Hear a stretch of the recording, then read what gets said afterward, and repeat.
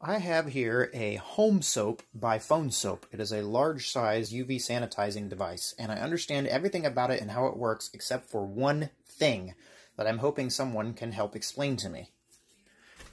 When you open the device, you will see the usual upper and lower UV sanitizing tubes.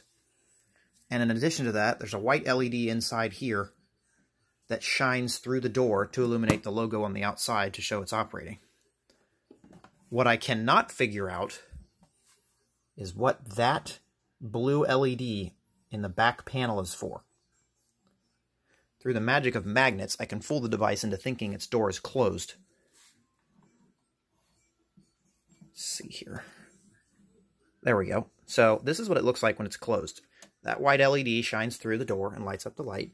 And you have the upper and the lower sanitizing tubes. But that blue LED, I do not know what that's for. It is never visible when on, when the device is closed. And it's not for sanitizing. And there's just the one. I don't know what that LED's purpose is or why it's even in there. So if anyone who sees this know what knows what that's for, what it does, or why it's there, please chime in and tell me. Because that is very unusual.